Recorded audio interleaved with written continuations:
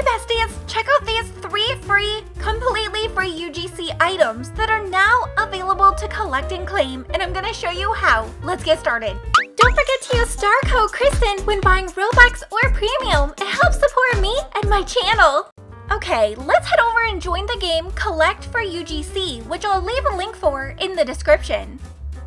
Now when you join the game, over to the left you'll see the three free hair.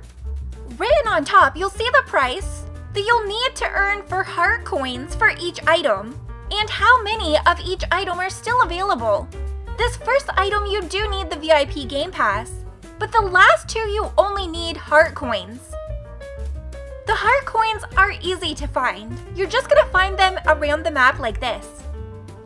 It kind of reminds me of Royale High and the crystals that you guys can find. So just go around the map collecting until you have enough. Then you'll be able to claim the three free hair, so let's try them on. Let's start with the natural wavy hair, the cotton candy color. This one is my favorite of all three of them. Next, let's check out the second one, which is the fluffy blob cut.